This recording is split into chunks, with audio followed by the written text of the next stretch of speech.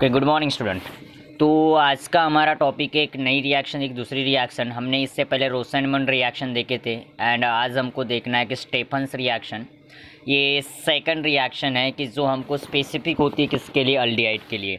इस रिएक्शन से आपको कीटोन नहीं बनेगा. एक चीज़ का और ध्यान में रखना है. क्योंकि इसके अंदर में एट अ कॉर्नर के अंदर में हाइड्रोजन का रिडक्शन होता है और इस वजह से इसके अंदर में किसी भी प्रकार से कीटोन का फॉर्मेशन नहीं हो सकता। Ketone formation is not possible from this reaction so guys हमने कल एक चीज़ देखी थी कि रोसनमन रिएक्शन को हमने कल पढ़ने का प्रयास किए थे। तो रोसनमन रिएक्शन में मैंने आपको बताया था कि इस रिएक्शन के अंदर में क्या बताया था कि ये पार्शियल रिडक्शन है। और पार्शियल रिडक्शन मतलब यहाँ पर अपने को कंप्लीट अगर रिडक्शन करते हैं तो वहाँ से अपने को अल्कोहल मिलता है। मैंने इससे पहले के लेक्चर में बताया था।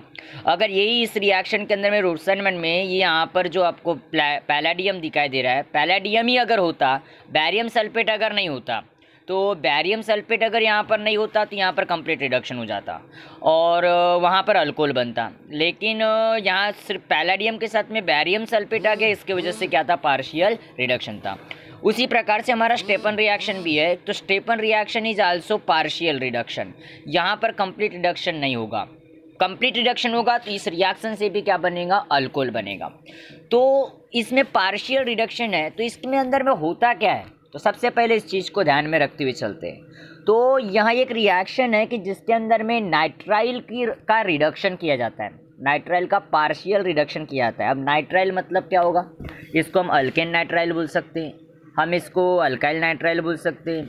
हम इसको अल्काइल साइनाइड बोल सकते हैं। आपके लिए बड़ा फ़ेमस नेम अल्काइल साइनाइड होगा, क्योंकि आपको पता है कि आर एन अल्काइल होता है और सी एन साइनाइड का ग्रुप होता है।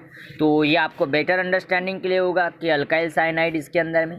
तो अल्काइल साइनाइड को इस रिएक्शन के अंदर में पार्शियली रिड्यूस किया जाता है बाय किसके द्वारा? कि यहाँ पर अपने को, यहाँ पर स्टैनस क्लोराइड लेना है over the H C L stannous chloride और द एस तब जा कर के उससे क्या बनेगा? सबसे पहले इमाइन बनेगा। आगे बताता कि इमाइन किस प्रकार से बनता है, उस चीज़ का भी आपको फॉर्मेशन बताता कि किस प्रकार से रिएक्शन होने वाली है। और उसका फिर hydrolysis not only hydrolysis but acid hydrolysis तो एसिड हाइड्रोलाइसिस करेंगे मतलब यहाँ पर आपके बुक के अंदर में सीधे डायरेक्टली हाइड्रोनियम आयन दिया होगा एच थ्री ओ पॉजिटिव ऐसा कुछ दिया होगा।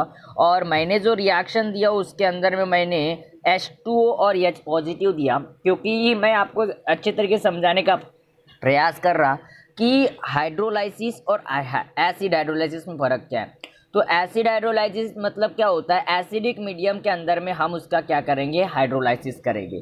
तो एसिडिक मीडियम में उसका हाइड्रोलाइसिस करके हम लोगों को क्या फॉर्मेशन करना है? अल्टीएट का फॉर्मेशन करना है। तो उस रिएक्शन को हम क्या बोलेंगे? स्टेफन्स रिएक्शन बोलेंगे।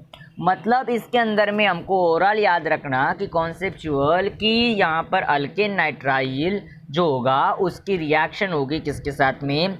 हाइड्रो सॉरी स्टैनस क्लोराइड और the hydrochloric acid and then to form the imine hydrochloride, which on further hydro, acid hydrolysis मतलब आगे उसको फिर से एसिड हाइड्रोलाइसिस करेंगे तो उससे क्या मिलेगा? अल्डिहाइड का फॉर्मेशन होगा। ये थेरोटिकल प्रोसेस थी प्रोसेस थी। अभी थोड़ा सा रिएक्शन से इसको समझने का प्रयास करते हैं। तो मैंने बराबर कॉन्सेप्चुअल देखो, थोड़ा सा आपको थेरोटिकल रिएक्शन बना करके दिया सबसे पहले कि अल्केन नाइट्राइल है इसको आप अल्काइल साइनाइड भी बोल सकते हो आप इसको अल्काइल नाइट्राइल भी बोल सकते हो आ, इसका हम लोग क्या करेंगे रिडक्शन करेंगे तो अब इसका रिडक्शन करेंगे तब जा कर के उससे हमको इमाइन बनेगा इमाइन हाइड्रोक्लोराइड भी बोल सकते हैं उसको हम लोग फिर उसके बाद में उसका हम एसिड हाइड्रोलाइसिस करेंगे तो उससे हमको क्या मिलेगा अल्टीएट का फॉर्मेशन होगा। सो so गाइस देखते हैं कि केमिकल रिएक्शन से जनरल रिएक्शन पढ़ने का प्रयास करते तो ये आपको दिखाई दे रहा है कि R C triple bond N R C triple bond N का मतलब क्या होता है? अल्काइल साइनाइड होता है। जिसको आप अल्काइल साइनाइड बोले, या फिर आप उसको अल्केन नाइट्राइल भी बोल सकते हो, या अल्काइल साइनाइड आपको उसको अल्काइल नाइट्राइल भी बोल सकते हो अल्काइल नाइट्राइल तो इसका मैं पार्शियल रिडक्शन कर रहा हूँ by stannous chloride over the hydrochloric acid तो अब जा करके क्या हो रहा है? कुछ नहीं हो रहा है बेटा, ध्यान दो यहाँ पर। तो ये जो दो हाइड्रोजन एटम्स हो गए तो ये क्या हो जाएगा कि यहाँ का जो सी और यन के बीच में का जो पाई बॉन्ड है, आपको पता है सिंगल बॉन्ड होता है तो सिग्मा बाउंड होता है तो इसके बीच में दो ट्रिपल बॉन्ड है। ट्रिपल बॉन्ड है मतलब दो पाई बॉन्ड है एंड एक सिग्मा बॉन्ड है। तो आपको पता है कि जनरली कि pi bond is a weak bond as compare to the sigma bond और ड्यू टू दिस रीज़न यहाँ पर क्या होगा कि पाई बॉन्ड यहाँ का एक ब्रेक होगा और दोनों एक कार्बन के पास में हाइड्रोजन आएगा और एक नाइट्रोजन के पास में क्या आएगा? हाइड्रोजन आएगा।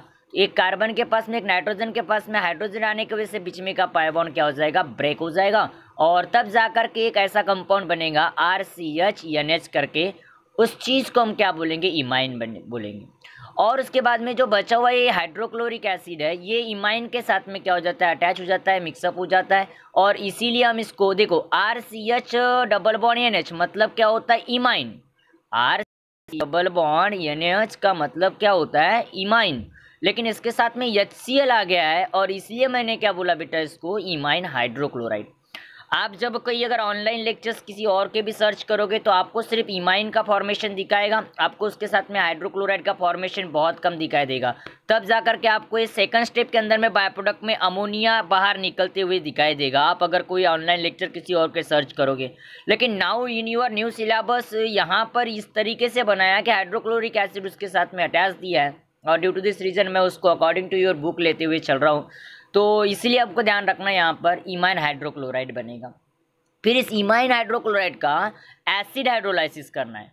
तो देखो, आपके बुक के ऊपर में यहाँ पर यच थ्री ओ पॉजिटिव दिया है। यच थ्री ओ पॉजिटिव का मतलब वही है, वो हाइड्रोनियम आयन मतलब वो एसिड हाइड्रोलाइसिस से ही बना होता है। तो वही है, एक ही चीज़ है। तो मैंने एच टू ओ और एच पॉजिटिव सेपरेट कर दिया और आपको पता है H positive is the condition for the acid and H two O आपको पता है कि यहाँ पर वाटर मतलब हाइड्रोलाइसिस करना है करके क्योंकि H O H O H का ग्रुप यहाँ से देना है। तब जा करके क्या होगा बेटा, जब एसिड हाइड्रोलाइसिस यहाँ पर करेंगे तो कुछ नहीं करना है। सुनो, मैं क्या बता रहा, पहले एक बार फिर से इसको देख लो।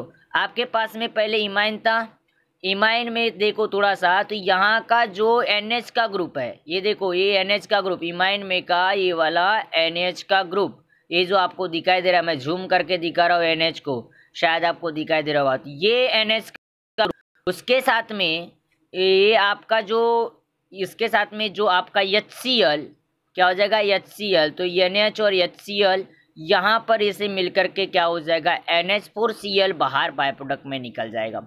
और ये एच बचा है, ये एच पॉजिटिव ये एच पॉजिटिव और ये देखो, पहले एक बार फिर से समझ लो।